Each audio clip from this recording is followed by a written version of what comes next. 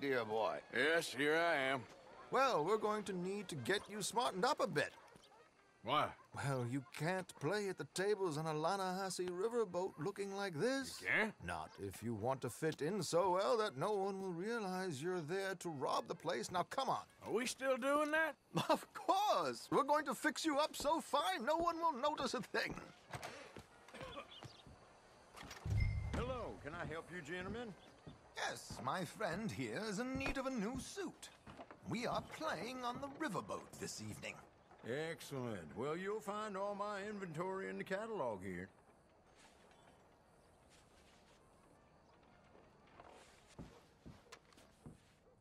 Make this gentleman look like the Duke he really is. It was the English's fault his grandfather had to emigrate. A bitter and jealous people. You can see the aristocrat in his profile. The heavy brow from all the inbreeding. Might I suggest the fine three-piece town suit, sir? Perfect for the occasion, I'd say.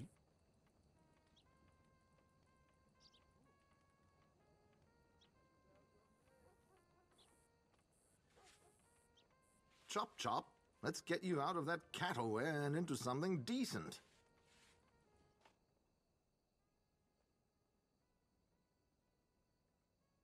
A very good choice, sir.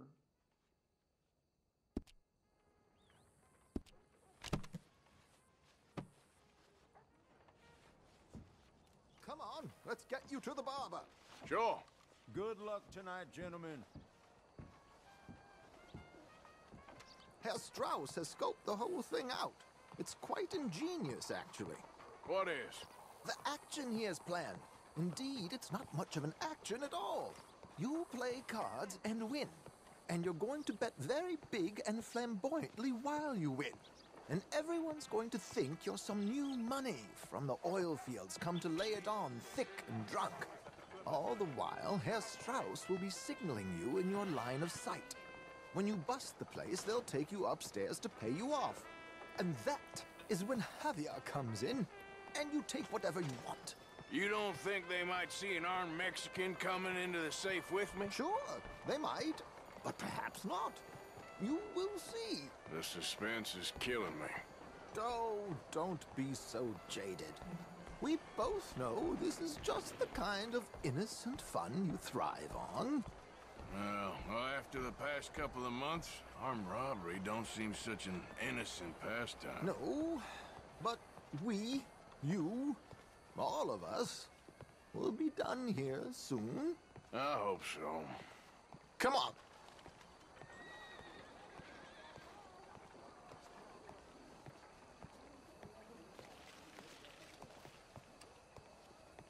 My good man, could you smarten up my dear hick friend here? This unlikely fellow has made himself a fortune in the oil fields and learned himself not a lick of manners or gentlemanly deportment. Well, very good, sir. No, it's not good. Not good at all. Not if they're going to let him play big at the tables tonight.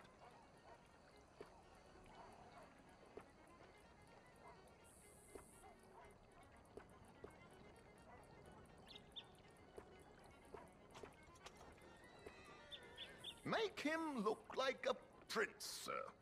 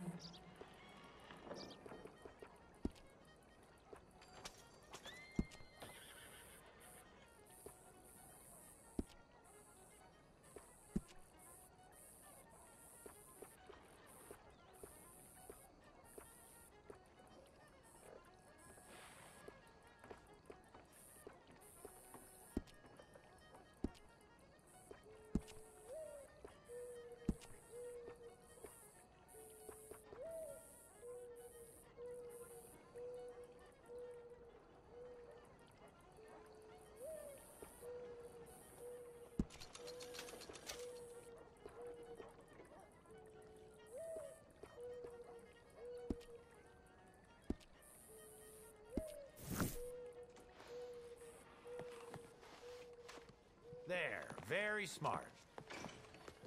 Come on, let's get to the docks. I've arranged some transportation for us. Hope you have a successful evening, gentlemen. George, to the Grand Corrigan, please. Grand Corrigan, sir. Well, look at you. From Toad to Prince. This is a bit much, ain't it? The coach? We can't whinny up there on horses like a bunch of countrified yokels. You're a brash oil man. Money to burn. Which reminds me, no shuffling and mumbling. Puff your chest out. Get outside yourself. Yeah, all right, all right. This ain't Hamlet. So, who's a mark? Is he all right, by the way, the driver? Oh, yes, don't worry. George and I go way back. It's a man called Desmond Blythe. Made a fortune in hosiery of all things. Likes to play fast and always keep some extra collateral in the safe upstairs. So, if Strauss is sitting behind him, how does he know what cards I got? He won't. But the dealer has recently become a very good friend of mine. Another one. Don't worry, Arthur. We're all the authors of our good fortune. He'll make sure you get the right cards. What could possibly go wrong? Indeed. And what money am I playing with? Don't worry. That has all been arranged. Your chips will be waiting. Ah, there she is. Come on. Okay. Arthur, leave any weaponry here. They'll search us when we get on. George, he'll collect these from you later. Very good, sir. Thank you, George. Good luck, sir. Now remember what I said, Arthur. Everyone is the author of his own good fortune. Yes, yes, believe me, I heard every word. Watch Strauss, listen to the dealer, and this should be a very lucky night. There they are.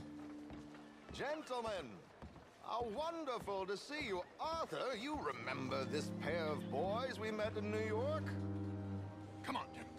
Champagne is on dear old Arthur. He's rich as can be and feeling luckier than a turkey that survived Thanksgiving. Hello, gentlemen. Hello, dear boy. Come on, come on, let's head aboard. Drinks on Arthur. Champagne. Hey there, mister.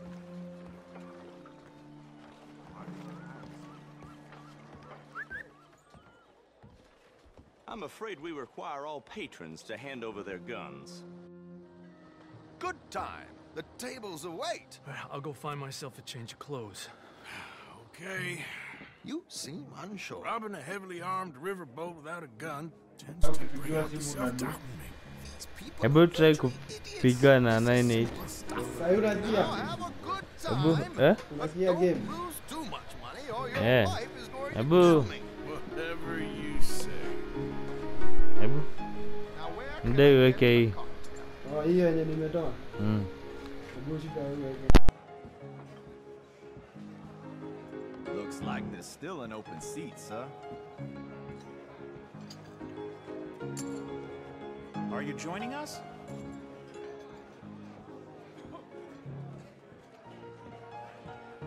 Take a seat, sir.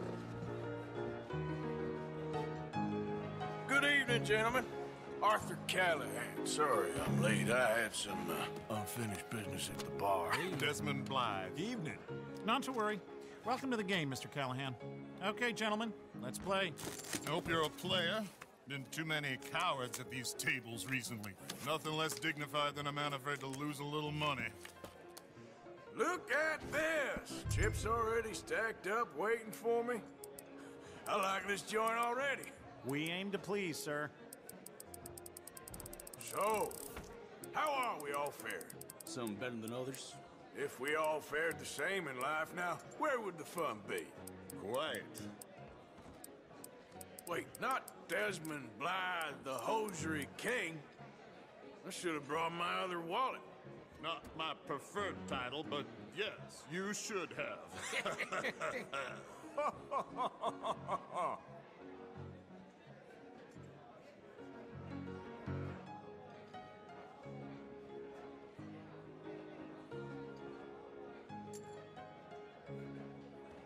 you playing?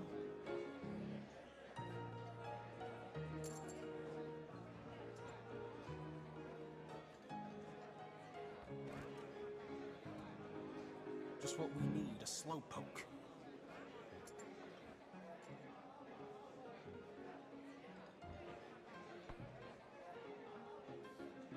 This is probably a bad idea. But I'll raise you. Yes, call. Good God, are you men or mice? Call. Oh, I'm in. Call. Oh, I'll call.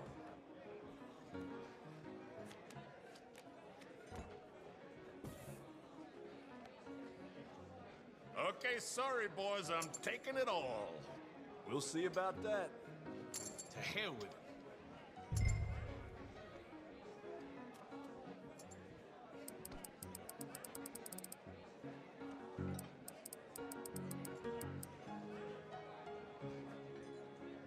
Mr. Callahan? I don't know why I'm doing this, but race. Here we go then. Hello, my ladies. Down to the belt.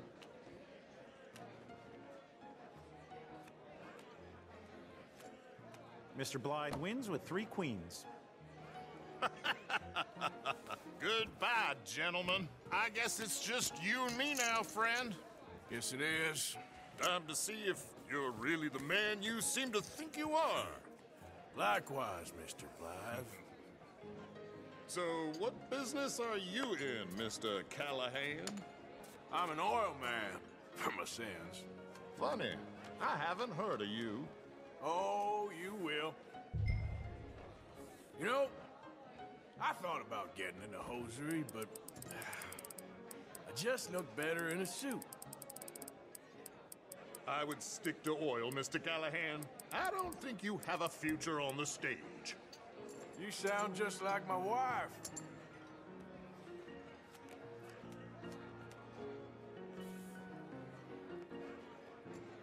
Sorry to do this to you, but I have no choice. All in. All in. Interesting. Pair of cowgirls.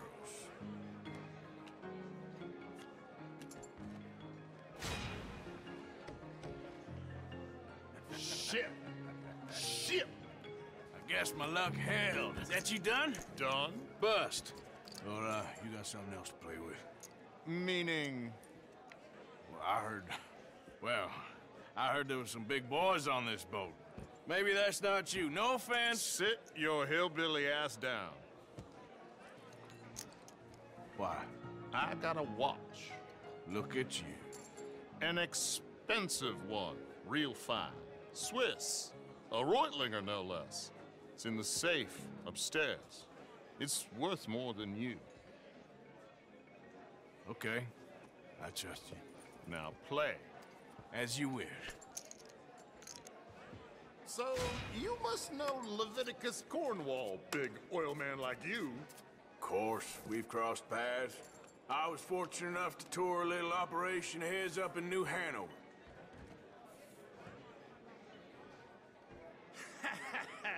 I am 100% all in, Mr. Callahan. Don't worry, sir. Everyone is the author of his own good fortune.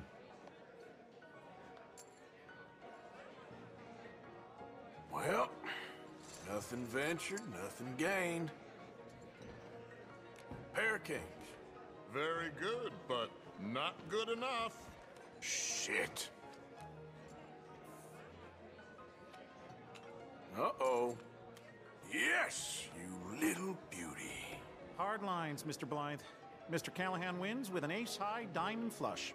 God damn you! No offense. None taken. Well played, sir. Unlucky, Desmond. Now, forgive my lack of discretion, but um, where might I find this watch? It's upstairs. Shall we go and have a look? Why not? Gentlemen. Please, cash these out for me. I, I started last week. Good. Sure. Perhaps you could escort us up to the office. Yes, of course, sir. Thank you. Follow me, gentlemen. Come with me, sir. You're having quite the night. Yeah, so far. I cannot believe someone gave a greaser a job. we live in strange times. Personally, I wouldn't trust one with a gun, but fear not. I've got my own little lawgiver right here. Very good. Next, we'll be hiring Negroes. I know, I know. I think you're going to like this watch, sir. I saw it earlier, and it really is a handsome piece. Foreign made, but you can't have everything. Indeed. Well, here we are.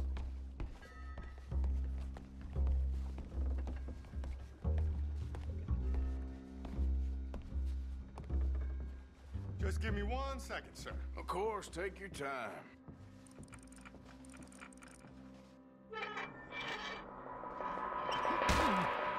Don't reach for that gun. Take his gun, Arthur.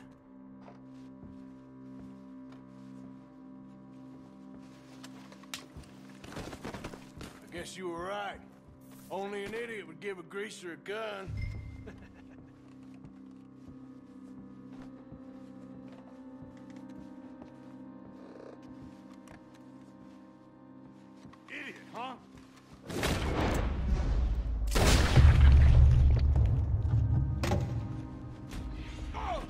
Let's hope no one heard that. Quick, clear the safe. Let's get out of here. Can't believe that asshole had another gun. The view in here is looking pretty good. How much is there? Must be a few thousand plus the watch. Nice. Now let's get out of here. Come on. Let's go meet the others. Sure.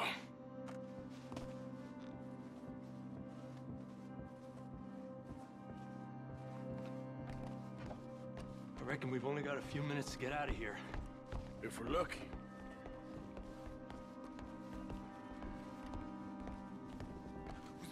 That a gunshot? It sounded like one. Come on. And how exactly are we getting out of here? I ain't too sure. This is what tends to happen when you leave Trelawny in charge of planning. Oh, garnish no meat. Probably involve us dressing up as dancing girls and carrying cannon off the side. Nice uniform, by the way. Thanks. Give anyone a job these days. Anyway, we shouldn't give ourselves away until we know we need to. Maybe we could still blend into the crowd when it all goes crazy. Which it surely will. To the bar, senor! I hope you had fun, sir. At the time of my life. You boys sure know how to put on a show. That's wonderful. ah, look, there's your friend. My friend is not a no good cheat, and I beg you to take back the insinuation.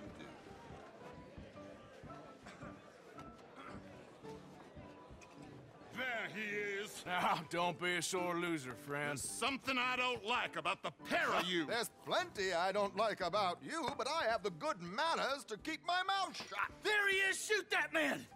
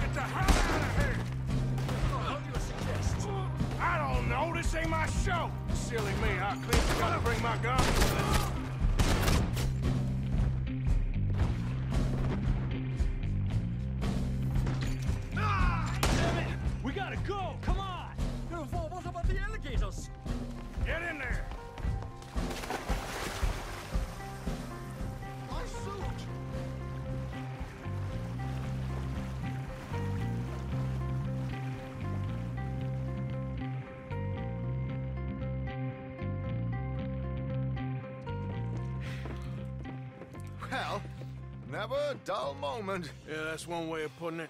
So, how much did we get? A few thousand, I think. Pretty good. Yes, indeed. And this watch, uh, apparently it's worth a bunch. Uh, Swiss, uh, a Reutlinger or something? Nice watch. Yes, it's a Reutlinger, all right. We'll give it back then. All right, come on, let's get out of here.